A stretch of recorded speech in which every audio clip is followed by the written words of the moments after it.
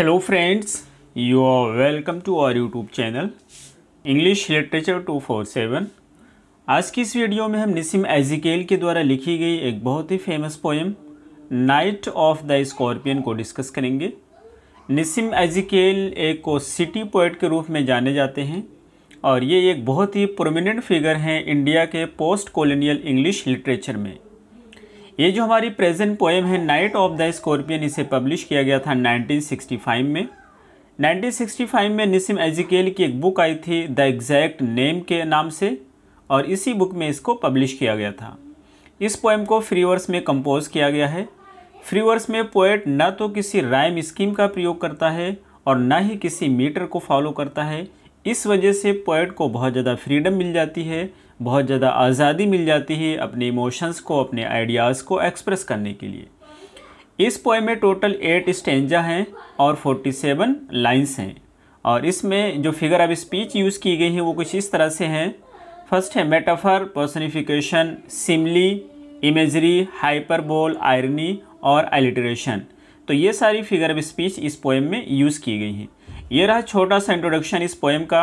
अब हम शुरू करते हैं अपनी आज की इस वीडियो को। पोएट कहता है I remember the night my mother was stung by a scorpion मुझे वो रात याद है जिस रात को एक भिक्षु ने मेरी मदर को डंक मारा था। स्टंग की मीनिंग होती है डंक मारना। Ten hours of steady rain had driven him to crawl beneath a sack of rice steady की मीनिंग होती है लगातार क्रॉल की मीनिंग होती है रेंग कर जाना। पोइट कहता है कि 10 घंटे की लगातार बारिश ने भिक्षु को चावल के बोरे के नीचे रेंग कर जाने पर मजबूर कर दिया था। यानी कि 10 घंटे से लगातार बारिश हो रही थी, उस बारिश से परेशान होकर भिक्षु चावल के बोरे के नीचे रेंग कर गई। पार्टिंग विद हिज पॉइजन और अपने पॉइजन से अलग हो गई। पार्ट विद की मीनिंग होती अलग हो जाना। पोइट ये कहना चाहता है कि जो भिक्षु थी, उसने अपने पॉइजन को उसके मदर के ब्लड में प्रवेश कर दिया और वो उससे अलग हो गई। Flash of diabolic tail in the dark room और उसकी जो डायबोलिक टेल थी, वो फ्लैश होती, यानी कि उसकी एक झलक दिखाई दी उस अंधेरे कमरे में। He risked the rain again उसके बाद उसने फिर से उस बारिश में जाने का जोखिम लिया। फिर वो उस बारिश में चला गया। आगे पोइट कहता है the peasants came like swarms of flies and burst the name of God a hundred times peasants की मीनिंग किसान होती है तो कहता है कि किसान लोग, यानी कि गाँव वाले मक्खियों की झुंड की तरह आए। यहाँ पे सिमली का प्रयोग किया गया है। यानी कि जो किसान थे, गाँव वाले थे, मक्खियों की झुंड की तरह उसके घर आए and burst the name of God a hundred times और सैकड़ों बार खुदा का नाम लिए to paralyse the evil one उस इविल को, उस बुरी आत्मा को, यानी कि भिक्षु को पैरालाइज करने के लिए। उन्होंने भगवान से, खुदा से प्रार्थना किया कि उस भिक्षु को पैरालाइज कर दे, उसको लकवा मार जाए। आगे पॉइंट कहता है with candles and with throwing giant scorpion shadows on the mud baked wall जब वो लोग आए गाँव वाले तो उनके साथ कैंडल्स थी, लालटेन थी, और वो जो कैंडल और लालटेन थी, उसकी उजाले की वजह से, उसकी रोशनी की वजह से जो गाँव वाले थे, इनकी परछाई, इनकी जो शेडो थी, वो एक मिट्टी की दीवार पर पड़ रही थी। यानी कि जो उनका घर बना हुआ था निसिम एजिकेल का, वो मिट्टी की दीवार का था तो उसी दीवार पर उन लोग की परछाई पड़ रही थी और उससे ऐसा प्रतीत हो रहा था जैसे कि एक बहुत बड़ी स्कॉर्पियन उस दीवार पर हो। आगे पोइट कहता है they search for him he was not found उन लोगों ने, यानी गाँव वालों ने पीजेंट्स ने उस भिक्षु की तलाश किया, लेकिन वो उसे नहीं पा सके। They click their tongues with every moment that the scorpion made his poison moved in mother's blood they said उन्होंने कहा कि ये दिल दे क्लिक देयर टंग्स यानी कि उन्होंने कहा कि with every moment that the scorpion made हर एक मोमेंट के साथ, हर एक हरकत के साथ जो स्कॉर्पियन करती है made his poison move in mother's blood तो उसी की मूवमेंट के साथ उसका जो पॉइज़न होता है, उसकी मदर के ब्लड में भी मूवमेंट करता है।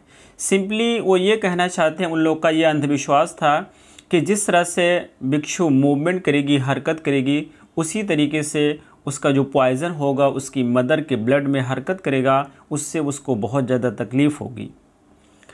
आगे पॉइंट कहता है may he sit still they said उन लोगों ने कहा कि खुदा करे वो शांत बैठ जाए। बिच्छू के बारे में बात कर रहे हैं कि खुदा करे वो शांत बैठ जाए। May the sins of your previous birth be burned away tonight they said उन्होंने कहा कि खुदा करे जो तुम्हारे प्रीवियस ईयर के जो गुनाह हैं प्रीवियस बर्थ के जो गुनाह हैं, वो माफ़ हो जाएँ, वो ख़त्म हो जाएँ, वो जल जाएँ। मे और sufferings decrease the misfortune of your next birth और खुदा करे कि जो तुम्हारे नेक्स्ट बर्थ की मिसफॉर्च्यून है, जो तुम्हारी सफरिंग्स है, वो कम हो जाए।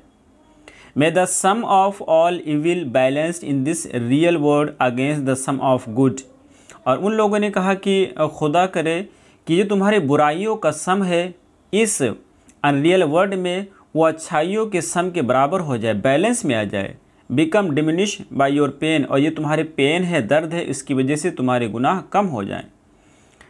आगे पॉइंट कहता है may the poison purify your flesh of desire and your spirit of ambition और कहता है कि खुदा करे कि ये जो पॉइज़न है, ये पॉइज़न शुद्ध कर दे प्योरीफाई कर दे तुम्हारे डिज़ायर के फ्लैश को, तुम्हारे एम्बिशन के स्पिरिट को, शुद्ध कर दे। आगे पर कहता है कि and they said they sat around they sat around on the floor with my mother in the centre और पॉइंट कहता है कि जो गाँव वाले थे, वो लोग उस फर्श पे मेरी मदर के चारों तरफ़ बैठ गए। यानी कि जो मेरी मदर थी, वो सेंटर में थी और उसके चारों तरफ़ से गाँव वाले लोग बैठे हुए थे। The peace of understanding on each face और पॉइंट कहता है कि जो अंडरस्टैंडिंग की पीस थी, वो उनके चेहरे पर देखा जा सकता था। यानी पॉइंट ये कहना चाहता है कि ऐसा प्रतीत हो रहा था जैसे कि वो लोग मेरी मदर की गम को समझ रहे हैं। वो उसके गम के साथ गम को शेयर करने की कोशिश कर रहे थे, उसको महसूस कर रहे थे। आगे पॉइंट कहता है more candles more lanterns more neighbours more insects and more endless rain यहाँ पे कहता है कि मोर कैंडल्स यानी कि और ज़्यादा कैंडल्स आई मोर लैंटर्स और ज़्यादा लालटेन आई मोर नेबर्स और ज़्यादा पड़ोसी आए। तो जब पड़ोसियों की तादाद बढ़ने लगी तो लालटेन की भी तादाद बढ़ने लगी और कैंडल्स की भी तादाद बढ़ने लगी।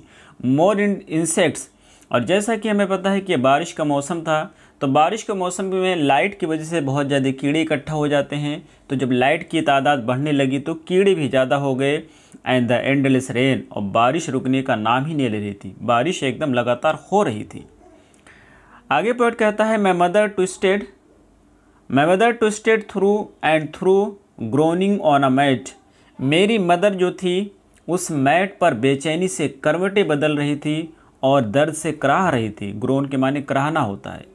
My father sceptic rationalist trying every curse and blessing और पोइट कहता है कि मेरे जो फादर थे, वो संदेशवादी, संदेहवादी थे सेप्टिक थे रेशनलिस्ट थे, तर्कवादी थे और trying every curse and blessing उन्होंने अपनी पूरी कोशिश की। पाउडर मिक्सचर हर्ब हाइब्रिड उन्होंने पाउडर लगाया मिक्सचर लगाया और जो भी जड़ी ब्यूटी की औषधि थी, वो सारा उन्होंने लगाया कि ताकि उन्हें इससे निजात मिल जाए।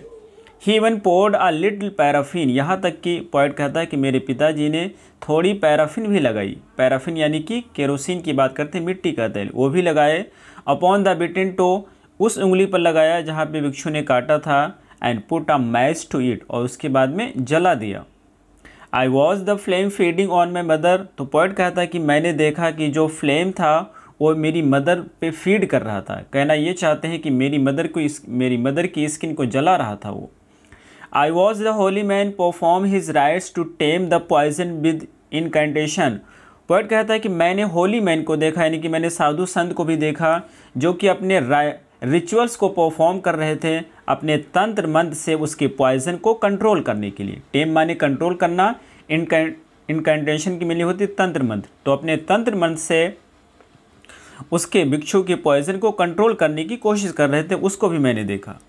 आगे पॉइंट कहता है after twenty hours it lost its sting बीस घंटे के बाद में आफ्टर ट्वेंटी आवर्स बीस घंटे के बाद में उसका जहर ख़त्म हो गया।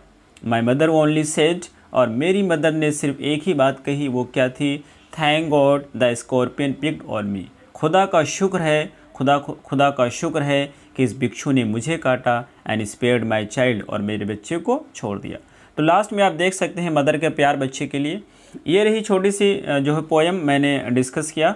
आई होप कि आपको ये समझ आया होगा। फिर मिलते हैं अगली वीडियो में। Till then take care have a good time